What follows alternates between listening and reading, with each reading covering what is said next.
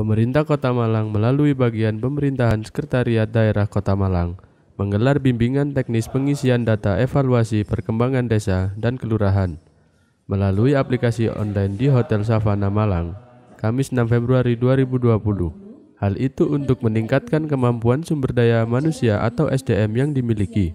Wali Kota Malang Dr. Andes Haji Sutiaji mengungkapkan, data yang akurat sangat penting sebagai pijakan terbaik dalam membuat berbagai program.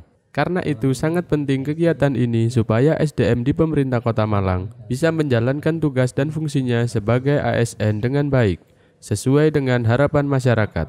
Seluruh kebijakan selalu berbasis data di kelurahan, dengan dibantu SDM yang mumpuni dalam menggunakan teknologi informasi.